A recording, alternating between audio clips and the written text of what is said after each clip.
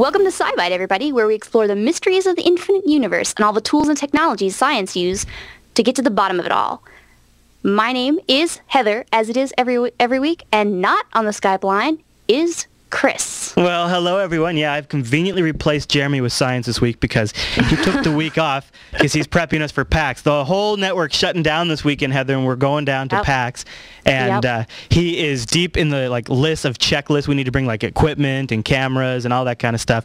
And then of course he's got to figure out like what seminars and what things and what Oh, yeah. booths like match what shows and what can't what people need to be at those things and all that kind of stuff. So It is important. That is massively important, but uh, that's okay because we actually picked a really great topic for this week's episode because it's something I kind of love talking about. Yes.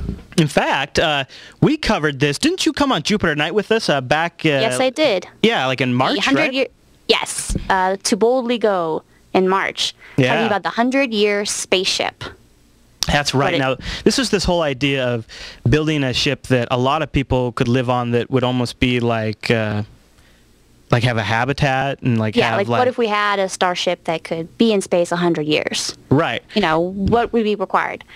Now, is it a little morbid that the reason I'm kind of interested in this is because it's like one of these scenarios is what happens if like we need to get off our planet? Because that's kind of really where well- this that and it seems like the only way we're really ever going to get somewhere is like just this massive trek. It doesn't Yeah. matter what it's going to what even if we get really fast engines, it's still going to be a lot of travel. It's not going to be like Star Trek. Oh yeah, it's.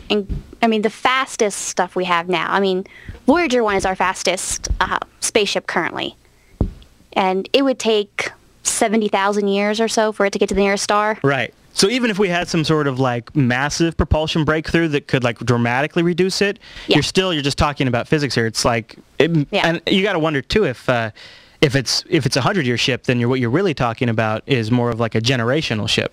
So Yeah, how do you build something where you have facilities in place to, to train the next can- generation? Yeah. Yeah, or do you do it so that there's caretakers and then there's, you know, little embryos that get ready and are ready at the end of the trip. So that's that's the whole idea. It's not Yeah. really building a spaceship. There's Right. no actual money. All the money that they have is not actually going to building anything. It's symposiums to get people together, and they're getting a wide variety of people together. Everything Right. from scientists to politicians to lawyers to sci-fi writers, getting everyone together and saying, "Hey, what are all the issues we need to think about?" This is You know, really where you have to start, right? Because you have to get Yeah. like all of the experts in these various fields, eh, Yeah. just even communicating uh, uh, with the same language, really. Yeah.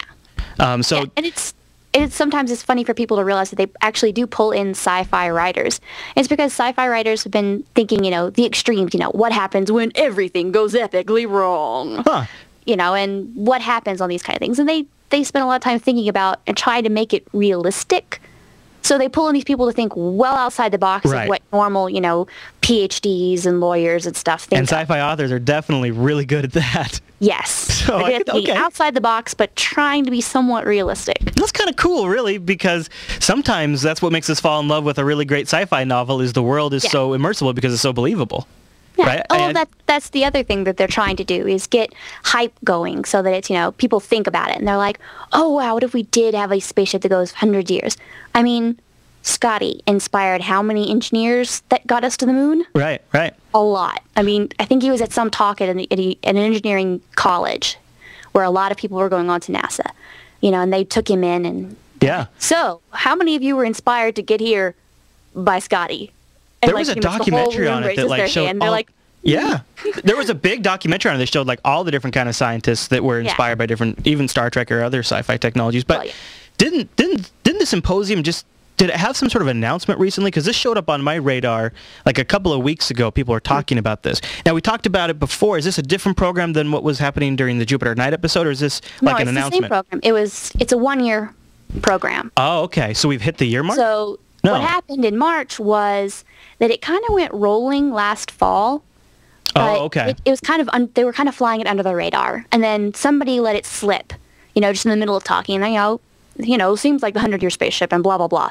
Everyone, wait, wait, wait, wait, hundred year spaceship? Tell us more. And I then see. had then they had to go back and be like, uh, hold on, oh, hold on, I'm almost ready for an interview. Oh, and press release. And they're getting like serious too, because like I saw some information about like there's some money, like NASA's throwing in like a hundred thousand dollars, Yep. and DARPA's putting in like a million dollars, or or like Yeah. combined it's a million dollars. Is Yeah, and what is this money going it- to? A lot of it was going towards symposiums. They've held a couple. There's one coming up in the first of September, and you know, and it's putting these, you know, symposium or conferences So not like. Warp Drive. They- So I was, they have kind of of- I was kind of hoping you were going to say warp drive. I'll, I'll be honest with you. well, not that we know of, at least. Right, Okay. There may be. There's a track of people talking about it.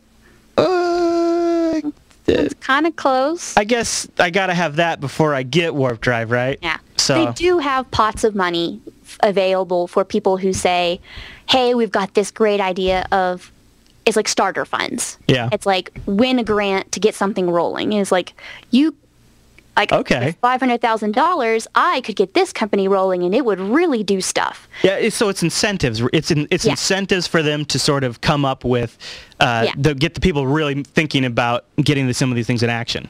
Yeah. It's incentives so to create getting action. people together to, to think about it, to really start thinking about it, is that, you know, how would we decide where we go? Who, Hmm. how would we decide who would go? You know, how, you know, what kind of environments would we need? You know, this isn't just like, you know, sailing across the, No.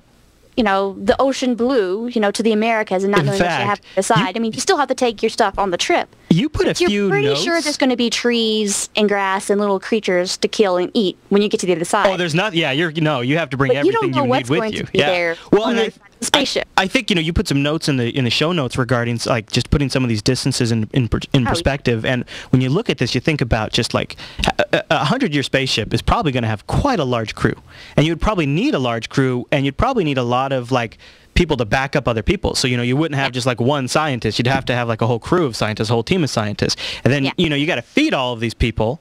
Yeah. So uh, it seems like the amount of water you'd have to bring with you, I, I could see like all of the issues they're going to have to come together. I mean, really, the, one of Yeah. the very be- beginning challenges from a fundamental standpoint is it seems like to get off the ground, they're going to have to build a ship like this in space. You know, because Yeah. if you're going to have to have all of these compartments and it's just going to be so massively huge, you wouldn't be able to launch something like that Yeah. from Earth. like like the space station. I mean, you you throw up components of it and put it together in space, and then you can you know I guess so. move through space. I guess we could. Yeah, I guess it. we we did that with the space station. Right? I keep hitting Yeah. the uh, the other screen. Uh, we did that with the space station, but it seems like Yeah. the space station was one thing. It was one kind of object, but the technology to assemble something to this scale seems like way beyond our grasp right now. So just the Oh, whole well, getting yeah. off the ground level right now. I don't know. Maybe you could. Oh my gosh! I don't know if anybody said Uh-oh. this in the chat room, but why couldn't you build it on the moon? Gravity is considerably less. You could have mm-hmm. easy. You could easily store. There is some. It's kind of a yes and no. I know that there is some math involved in you know how much effort does it take it to throw off Earth? How much effort does it take it to throw off the moon? It's I- gotta be less, If I right? recall correctly, I may be wrong on this, but I think the math says that throwing off the Mars is actually easier than throwing off the moon for long distance. No kidding. Really? And it may have to do with the fact that you have to deal on the moon. You also have to deal with Earth, or which direction are you going?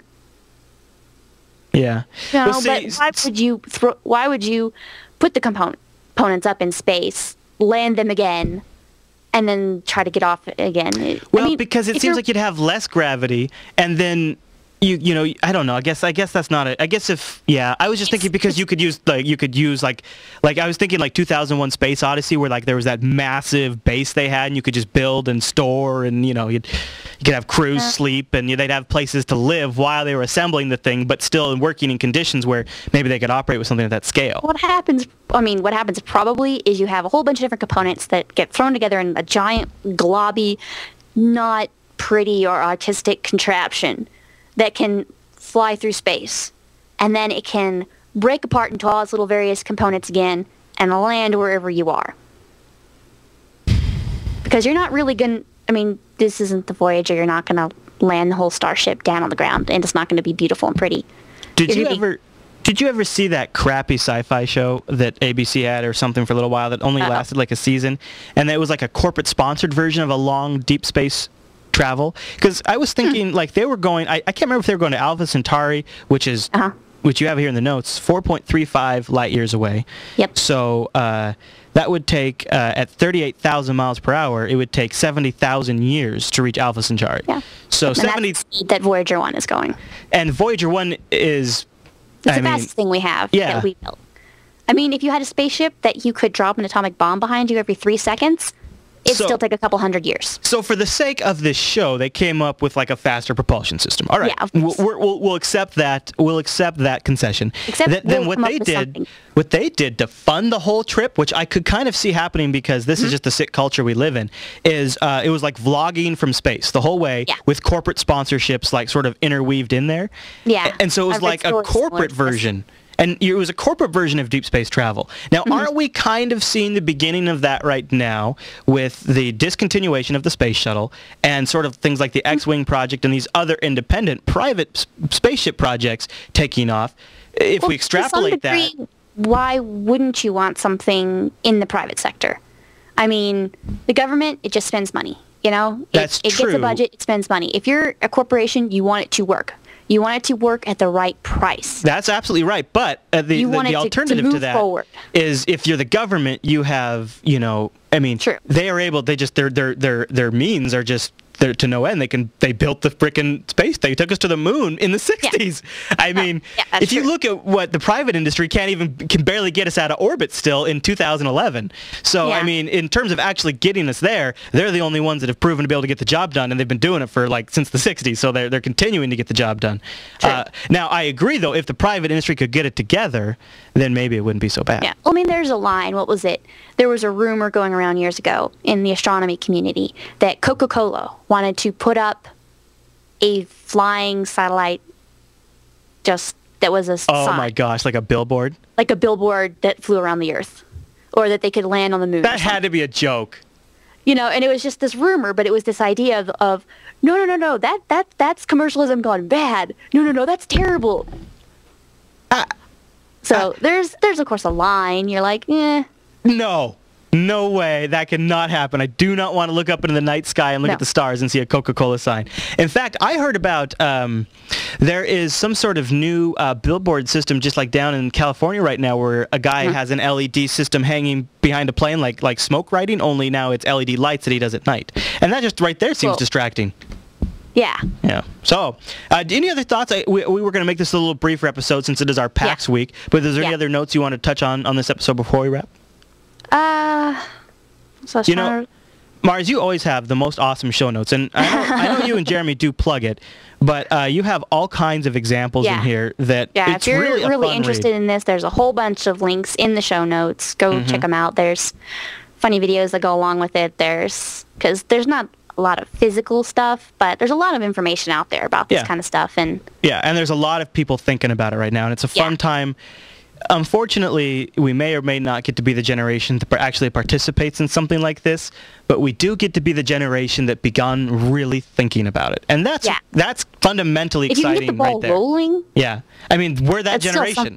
We're the Yeah. generation that started the spark. I mean, that in in itself is extremely invigorating. So Yeah. it's fun to participate at any level. And uh, if we just kind of got your appetite whetted and you want no information, go over to JupiterBroadcasting.com, look for episode 13 of, or no 14 of SciByte, and Yep. then uh, right in there you'll find all the links to stuff we talk about, show Mm-hmm. notes, and all that kind of stuff. And also all the various versions and formats you can download the show the show in, as well as the RSS feeds and iTunes links. If you want to get this on a mobile device, Yep. that would be the place to do it. I think that's everything, right? I think so. Well, right. if you want to follow us on Twitter, you know the places to go. JB underscore Marsbase for me. Yep, Or and- you could email us at Oh, at scibyte at jupiterbroadcasting.com for your show ideas or any questions you might have for a future Q&A episode we might do.